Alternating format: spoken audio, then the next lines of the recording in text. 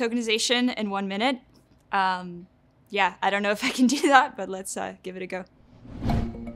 Hi, I'm Jazzi Cooper. This is Crypto in a Minute.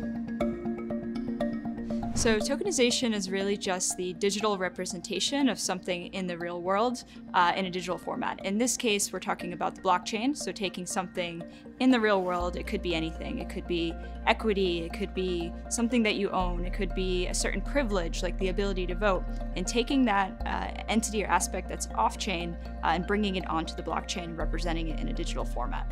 Uh, so typically once you have an understanding of what you would like to represent, you'll use an existing standard such as ERC20 on Ethereum uh, or an IOU-like fungible token on the XRP ledger, uh, and you'll actually take that real world thing uh, and represent it on the blockchain. Now, why do you want to do that? What's the purpose of just tokenizing something for the sake of it? There isn't one. So, effectively, after you've tokenized it, you want to go ahead and do something with it. You want to send it as a payment, or you want to trade it, or collateralize it so you can access a loan uh, and use one of the many advantages of um, tokenizing real things on the blockchain.